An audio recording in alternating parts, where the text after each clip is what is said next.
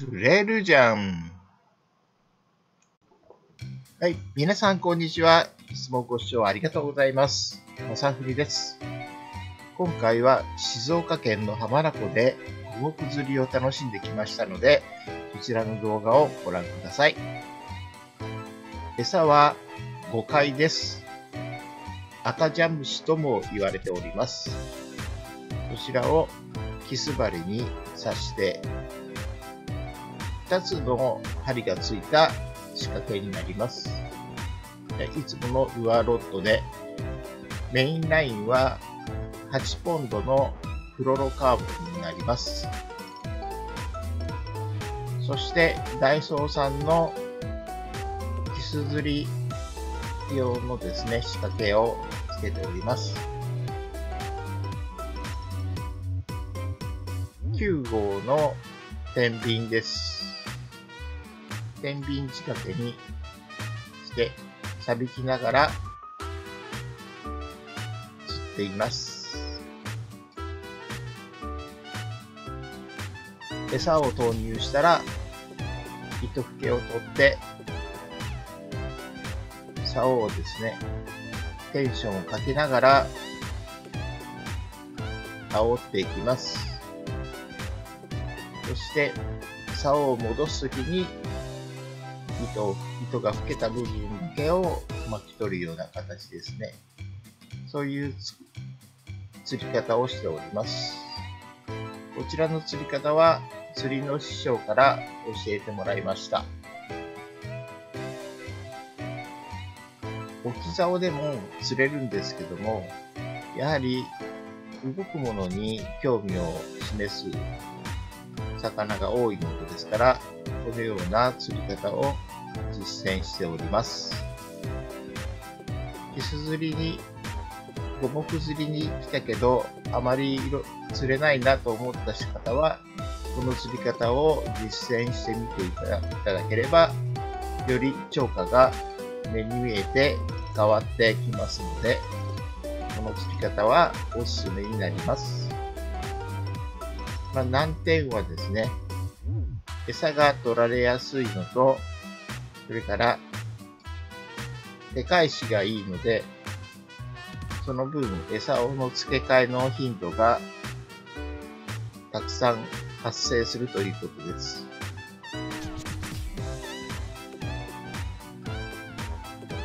こんな感じで釣りを受けます。そうするとですね、いろいろ楽しい魚さんが釣れたりしますので、おすすめです。使っている竿はルアーロッドで主にシーバス用に設計された PE シーバスロッドになります。PE ラインをですね、巻いた、あらかじめ巻いた島野さんのネクサーブ3000というセットされていたセット売りの竿になります。長さは8フィート6インチ。ちょうどですね、使いやすい、初心者の方でも使いやすい長さとなっております。カーボンの含有量も多く、非常に軽量にできておりますので、初心者の方も上級者の方も扱いやすいロッドだと工夫しております。ですので、いろんなロッドを試してきましたが、こちらのロッドがこういう五目釣りに適しているかなと思うので、愛用しております。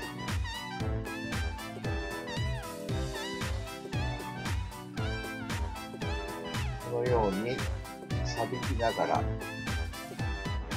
竿を戻すときにビールの糸を巻くという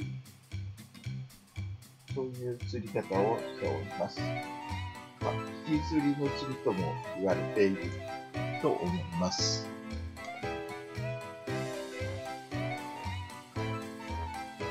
この釣り方、マジにですね、結構釣れますので、ものすごくおすすめです。今は横に引いておりますけども、隣の方とかの距離が近い場合には、縦方向に錆びてきてもいいかと思います。足場が高かったりする場合は縦方向に錆びくのが通例となりますが、こちらの砂浜は海水浴場ですので、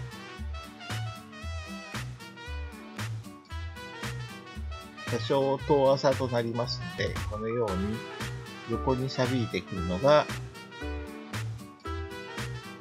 餌がですね、あまり浮き上がらないということで、おすすめの釣り方になります。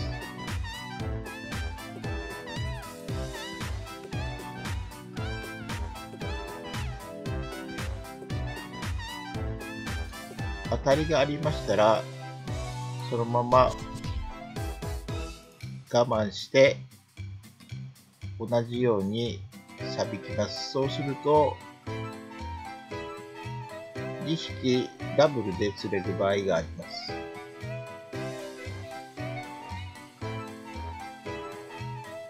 20センチ近いキスが釣れました。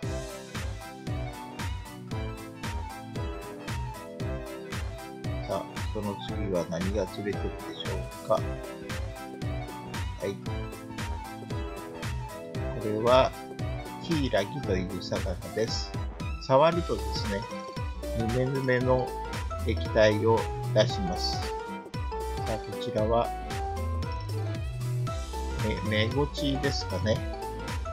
目ごちでしたら、ヒレ、ヒレ、ヒレにですね、あの、トゲがありますので、魚を掴むときは素手ではなく、フィッシュグリップというものを使って、魚を固定して、そして丁寧に針を取ってあげます。この魚つかみですけども、ダイソーさんで110円で購入しました。で、この魚つかみはあまりおすすめできません。なぜなら、強度がないもんですから、すぐにですね、あの、ひん曲がってしまうんですよね。なので、あまりお勧めできません。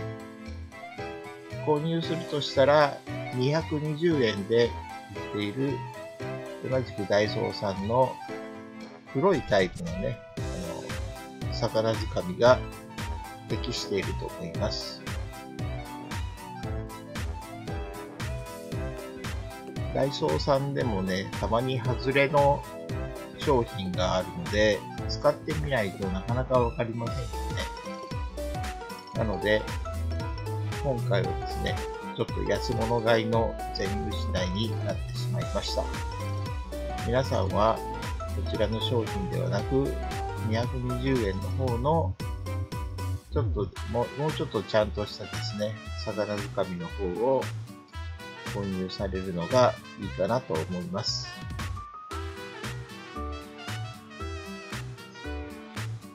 さあ、このようにですね、今はたまたま左から左方向から錆びてきますが、当然右側でも右側を向いて錆びても全然大丈夫です。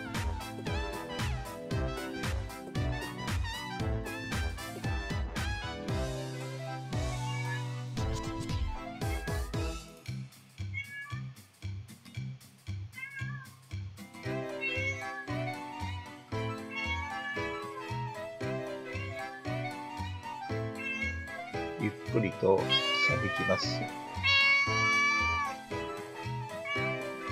大体の目安としては、錆びく、錆びくスピードですけども、まあ、よく言われているのが、1秒間ぐらいの時間を持って錆びく、もしくは人の歩く速さぐらいですね、ぐらいのスピードでゆっくり錆びく。いろんな方法がありますけども、まあ、大体この2種類を試していただければ十分かなと思います。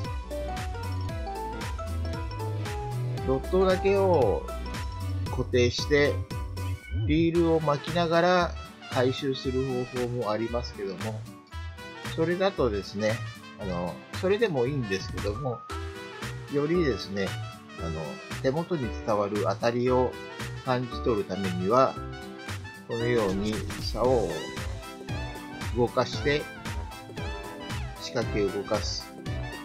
その方がですね、より当たりが取りやすいのかなと思います。ですので、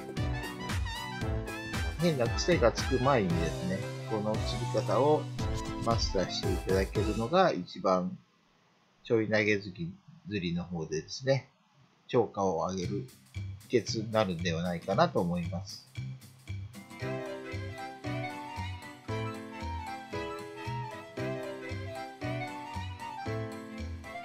とですね、ポイントとしましては、餌をですね、めんどくさがらずにちゃんとつけつけるということですね。餌が新鮮な方が当然食いがいいです。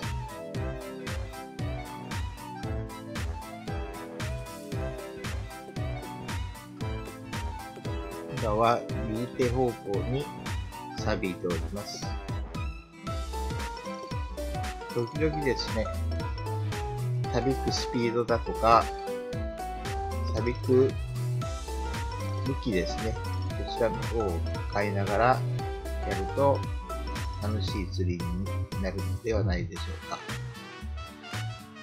そして、揚げた後ですね、餌が十分残っているようでしたら、もう一度、その餌で釣るようにしております。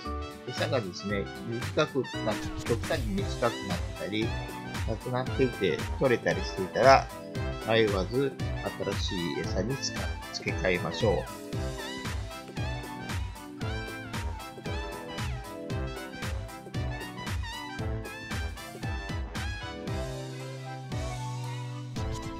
この時もですね、1時間ぐらいの兆候だったんですが、まあ、10匹近くですね、あの釣れました。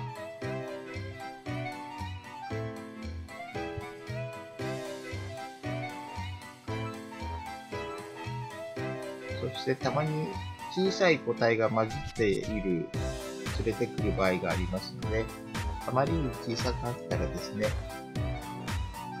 大きくなるまで待ってですね、その場でリリースしてあげるのが、魚にとっても優しいかなと思います。で、あまりに小さい魚はその場で逃がしてあげます。